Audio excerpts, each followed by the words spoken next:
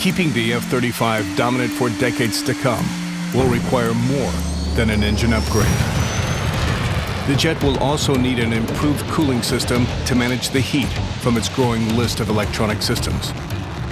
On the F-35, there's a significant challenge today where the aircraft has reached the limit of the capability of the cooling that they have on the aircraft, but they still want to add more equipment. You're adding additional heat that wasn't there before, and we need to be able to provide capacity to cool that heat.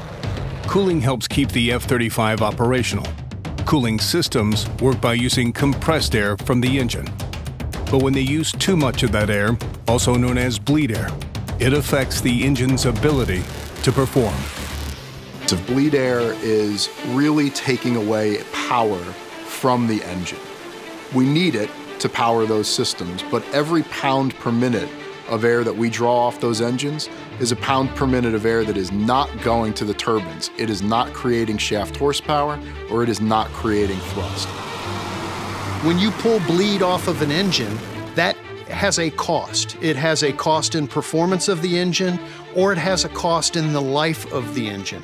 So you want to make sure that your propulsion system, your engine, your motor is designed to work hand in hand with your power and thermal management system. So it's causing the turbine to wear out sooner. The more often you have to re repair the turbine, the more money it costs, the more downtime for the engine, things that um, the warfighter doesn't want. And the only place they can go is larger heat exchangers or more bleed extraction from the engine. Both of those are going in the wrong direction for the performance of the overall aircraft system.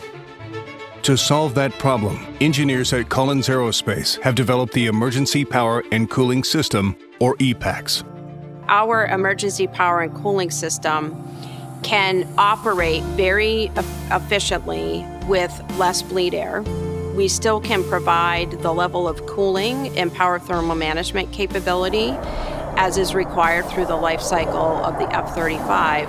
But what that means for the warfighter itself is not only improved capabilities of the actual aircraft, what it also means from a maintenance standpoint, there should be reduced maintenance costs, there should be longer engine life, and ultimately should improve range and thrust.